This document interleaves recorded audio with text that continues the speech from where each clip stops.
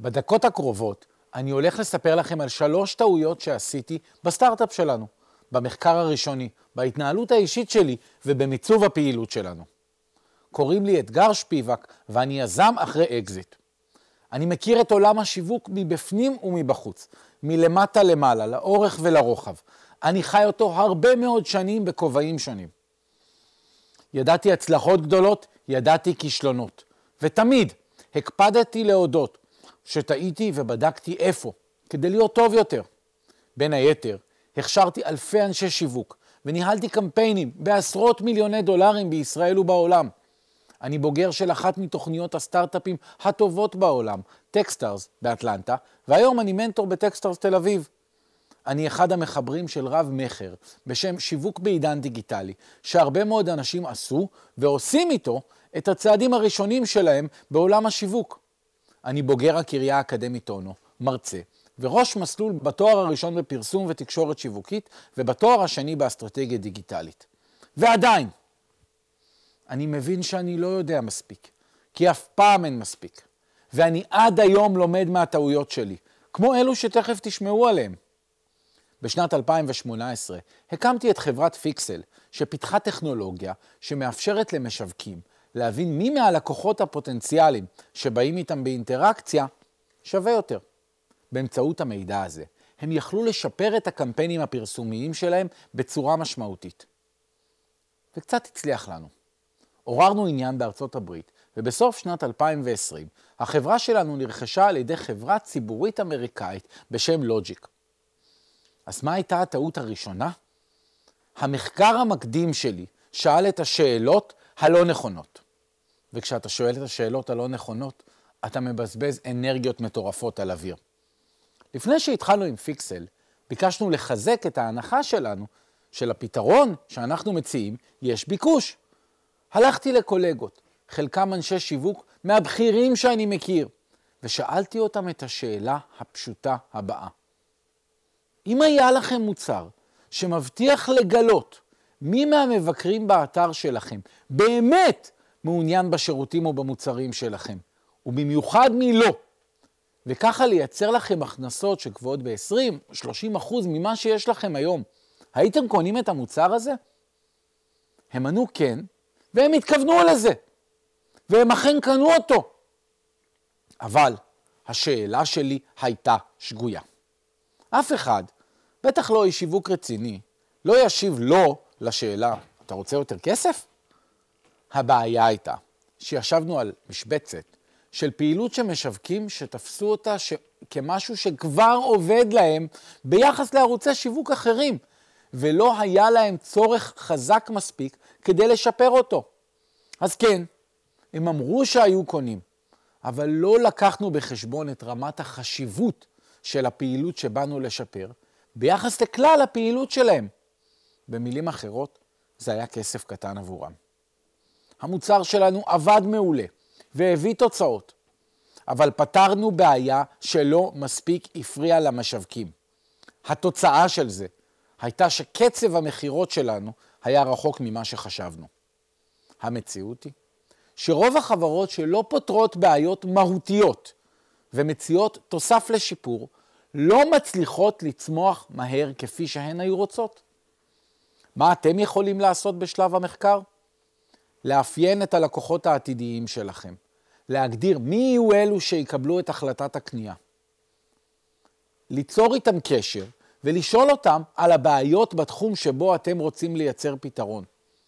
אם קורה, והצורך או הבעיה שחשבתם שזיהיתם לא עלתה באופן יזום על ידי הלקוחות כבעיה מהותית, עדיף שתשנו את הרעיון.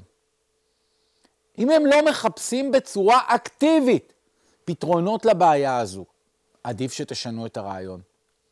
טיפ קטן, בשלב הזה, כדי למנוע הטיות שונות, אל תדברו על הפתרון שלכם, אפילו אל תזכירו אותו.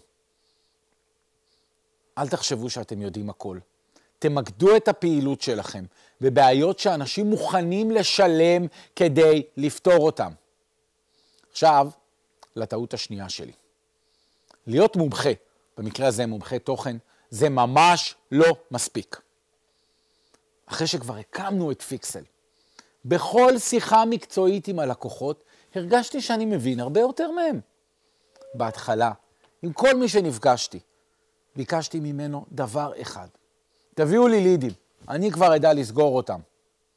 השוק העיקרי שלנו היה השוק האמריקאי. העובדה שהייתי איש מקצוע יותר טוב מהלקוחות שלנו, גרמה לי להיות עיוור לזה שלא הבנתי איך הם מקבלים החלטות, איך הבדלי התרבויות בין ישראל וארצות הברית משפיעים על תהליך המכירה, ומה באמת מפריע להם. הייתי בטוח ש-this is interesting אומר שזה מעניין, כאשר בפועל, במרבית המקרים, זה אומר בדיוק את ההפך. הייתי בטוח ש-this is awesome, let us get, get back to you. אומר שמישהו באמת מתכוון לחזור אליי, כאשר המציאות הייתה שזה היה נפנוף מנומס. אני זוכר יום אחד, שבו ה managing director שהוביל את תוכנית Techstars באטלנטה, העביר לי מייל מאחד המנטורים, שבו היה כתוב בצורה הכי מפורשת, אתגר מביך. זה היה רגע מפנה עבורי. הבנתי שיש לי שתי אפשרויות. או להתחיל להקשיב לאנשים באמת, או לקפל את העסק. רק אז באמת התחלתי להקשיב. מה אתם יכולים לקחת מזה? סביר להניח שאתם ממש טובים בתחום שלכם, ובגלל זה החלטתם להקים את הסטארט-אפ או את העסק. אבל העולם המקצועי הוא רק חלק, לפעמים לא גדול בכלל, מכלל הפעילות העסקית שלכם. בכל פגישה או אינטראקציה עם לקוחות פוטנציאליים או עם משקיעים, אל תחשבו על מה שאתם רוצים להגיד. אל תחכו לתורכם לדבר במהלך השיחות. תסתמו את הפה. תקשיבו באמת לאנשים ותבינו את ההקשר של הדברים שהם אומרים. והטעות השלישית, אם יש לכם פתרון חדשני ובלעדי שלא קיים בשוק, תתחילו לדאוג. הרעיון שלנו היה חדשני. בהתחלה לא ראינו שום מתחרה ישיר. אנחנו חשבנו שזה מעולה. טעינו. בגדול. בעולם שבו אין לפתרון שלכם תחרות, והתחום לא מוכר בשוק, צריך להשקיע הרבה זמן כדי להסביר מה בכלל המוצר הזה עושה. גם ללקוחות וגם למשקיעים לקח יותר מדי זמן כדי להבין איפה למקם אותו בתוך כלי השיווק שלהם. כמה זה היה מורכב? נפגשנו עם אננד ת'אקר, אחד הכותבים של MarTech 5000, אשר נתפסת בתור מפת כלי השיווק המובילה בעולם. גם לא. לקח הרבה זמן כדי למקם אותנו על המפה. מה התוצאה של זה? אנשים מאוד אהבו את המוצר שלנו, אבל רוב האנשים אוהבים לחשוב בצורה תבניתית. ופיקסל לא התאימה לתבנית המחשבה הנוכחית של חלק מהותי מהלקוחות שנפגשנו איתם. היה לנו מוצר מעולה, שייצר כסף אמיתי, אבל הוא לא ישב על משבצת ברורה שהלקוחות הכירו, וזה הקשה עלינו להתקדם מעבר לשלב הלקוחות אה, של המאמצים המוקדמים. מה אתם יכולים לעשות? מפו את השוק שבו אתם פועלים. תבינו איפה הפתרון שלכם יכול להשתלב בו, ותקשרו את זה בצורה פשוטה וברורה, בתוך התבניות שהלקוחות או המשקיעים כבר מכירים. אנשים צריכים להבין מה אתם עושים בתוך פחות מדקה, ועדיף אפילו בפחות.